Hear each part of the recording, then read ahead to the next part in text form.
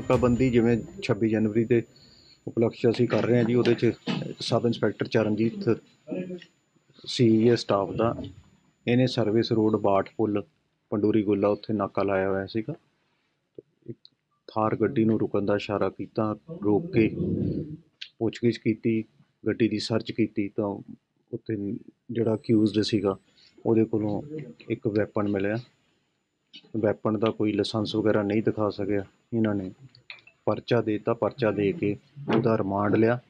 Remand ਦੇਣ ਤੋਂ ਬਾਅਦ ਜਦੋਂ ਇੰਟਰੋਗੇਸ਼ਨ ਕੀਤੀ, ਤਾਂ ਇੰਟਰੋਗੇਸ਼ਨ ਤੇ ਇਹਨੇ ਇਹ ਘਰੋਂਪੁਰ ਕਾਲੇ ਦਾ ਰਹਿਣ ਵਾਲਾ ਅੰਮ੍ਰਿਤਸਰ ਛਾਟੇ ਥਾਣੇ ਦਾ, ਉੱਥੇ ਇਹਦੇ ਘਰੇ ਜਾ ਕੇ ਉੱਥੋਂ 1 ਕਿਲੋ 300 ਗ੍ਰਾਮ ਦੇ ਕਰੀਬ ਹੀਰੋਇਨ ਰਿਕਵਰ ਹੋਈ 1 ਲੱਖ ਸੱਤ ਹਜ਼ਾਰ ਰੁਪਇਆ ਡਰੱਗ ਮਨੀ ਰਿਕਵਰ ਹੋਈ ਤੇ ਇੱਕ ਹੋਰ ਵੈਪਨ ਉੱਥੋਂ ਗਲੌਕ ਪਿਸਟਲ ਆਸਟਰੀਅਨ ਮੇਡ ਜਿਹੜੀ ਬਾਹਰੋਂ ਆਉਂਦੀ ਹੈ ਉਹ ਰਿਕਵਰ ਹੋਈ।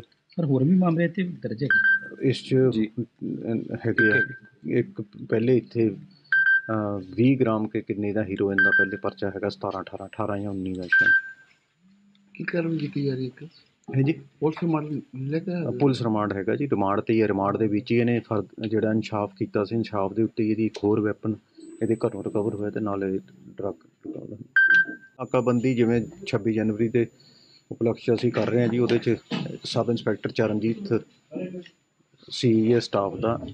ਇਹਨੇ ਸਰਵਿਸ ਰੋਡ ਬਾਟ ਪੁੱਲ, ਪੰਡੂਰੀ ਗੋਲਾ ਉੱਥੇ ਨਾਕਾ ਲਾਇਆ ਹੋਇਆ ਸੀਗਾ। ਇੱਕ ਥਾਰ ਗੱਡੀ ਨੂੰ ਰੁਕਣ ਦਾ ਇਸ਼ਾਰਾ ਕੀਤਾ, ਰੋਕ ਕੇ ਪੁੱਛਗਿੱਛ ਕੀਤੀ, ਗੱਡੀ ਦੀ ਸਰਚ ਕੀਤੀ ਤਾਂ ਉੱਥੇ ਜਿਹੜਾ ਅਕਿਊਜ਼ਡ ਸੀਗਾ, ਉਹਦੇ ਕੋਲੋਂ ਇੱਕ ਵੈਪਨ ਮਿਲਿਆ। ਵੈਪਨ ਦਾ ਕੋਈ ਲਾਇਸੈਂਸ ਵਗੈਰਾ ਨਹੀਂ ਦਿਖਾ ਸਕਿਆ ਇਹਨਾਂ ਨੇ। ਪਰਚਾ ਦੇ ਦਿੱਤਾ, ਪਰਚਾ ਦੇ ਕੇ ਉਹਦਾ ਰਿਮਾਂਡ ਲਿਆ।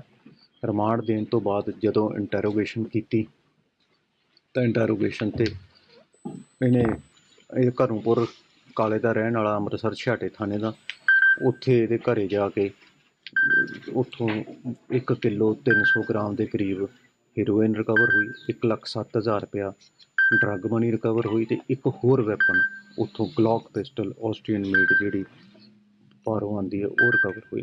ਸਰ ਹੋਰ ਵੀ ਮਾਮਲੇ ਇੱਥੇ ਦਰਜ ਹੈਗੇ? ਇਸ 'ਚ ਹੈਗੇ ਆ।